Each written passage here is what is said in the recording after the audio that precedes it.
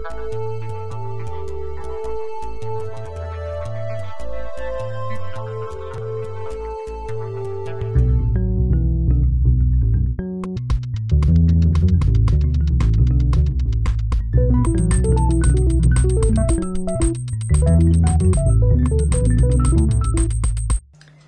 den, vážení diváci. Tak dneska si uvaříme hubovec, tak jak se vařil opravdu tady v Krkonoších. A myslím, že mě všichni rokitničáci dají za pravdu, že žádný nastavování krupicí nebo čímkoliv jiným tomu neholdujeme. Takže jdeme na to. Takže základem hubovce jsou samozřejmě houby jestliže to děláme na podzim, kdy houby rostou, takže čerstvé houby udusíme. Já mám například mražený houby, takže jsem si je podusila. Základem toho je, že já si tam nechám i tu vodu, která mě vlastně z toho, když to vytáhnu z mrazáku, tak ty houby jsou hodně vodnatý, takže já tu vodu tam nechávám a použiju. Jestliže máte sušený houby, tak si prostě ty houby povaříte, a taky si to necháte, tu vodu, v které jste to povařili. Další důležitou věcí jsou rohlíky nebo housky a nebo veka. Jo, tu si nakrájíme prostě na kostičky, asi takové to množství, když to chci dávat na plech, tak je to asi takové množství, je to asi 8 rohlíků anebo jedna celá veka. Dále potřebujeme k tomu mlíko, a tak asi 4 deci. To, se, to záleží pak podle potřeby, podle vláčnosti, tam záleží potom na to, kolik máte vody v těch houbách.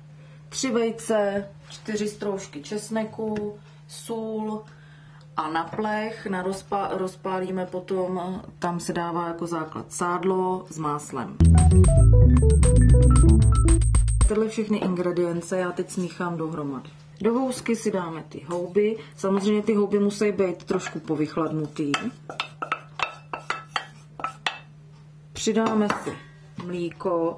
Zatím tam nebudu dávat všechno, protože musím zjistit, jak hodně ta houska je mokrá, aby jsme z toho neměli moc velký blhato. Přidám tam ty vejce.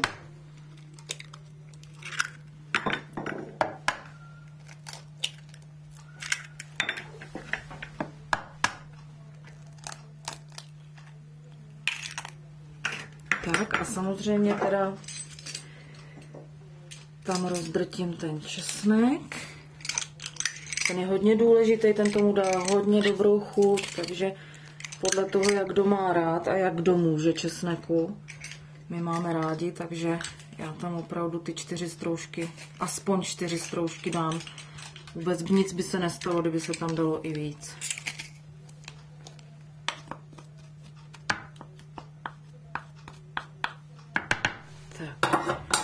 Samozřejmě nezapomenu osolit. Takže si tak jednu lžičku určitě soli.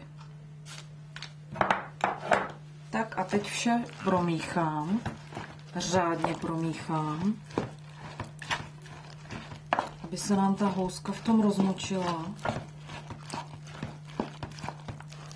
Když to mám promíchaný, tak já teda ještě dělám takovou nekulinářskou věc že mám teda ruce omítý, upozorňuji, že já si to takhle ještě opravdu rozmíchám a opravdu to pomačkám, aby byl ten hubovec co nejjemnější. Takže já tu housku, jak se patří, namočím a rozdrtím tímhle tím. A vůbec se nebojte a krásně to mezi těma prstama rozdrťte.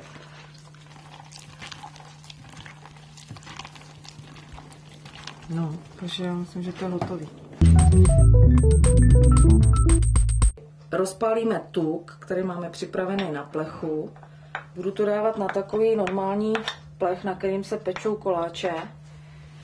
Ten hubovec bude hodně nízký a bude mít pěkně křupavou, bude křupavý jako koláč. Si to dám do trouby rozpálit asi na 180 stupňů. Že tuk máme rozpálený. A prvně si to vydám.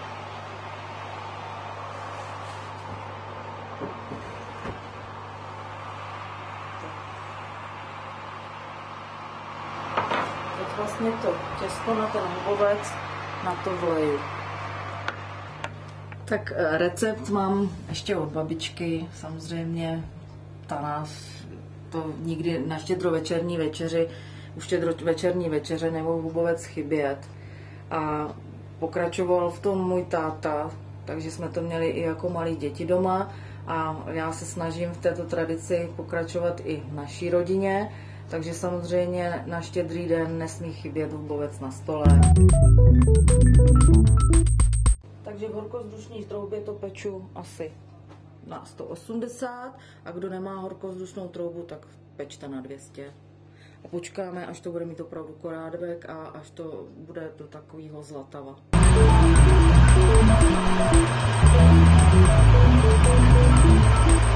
Hubovec už pečeme zhruba 20 minut, takže zkontrolujeme, jestli už není. Ano, vypadá to, to je přesně ono, jak to má vypadat. Takže máme hotovo. Troubu si vypnu. A dávám rovnou na stůl, protože samozřejmě tradice byla, že se to jedlo jako vždycky z pekáče lžicej. Takže já to s dovolením ochutnám, když už jsem si to teda uvařila, tak si to taky sním, že jo. Takže to je přesně ten korábek, na který se já těším. Tak pojď ke mně. Mm, mm, to je, mm, mm, to je je to dobrý. Takže vám přeju dobrou chuť.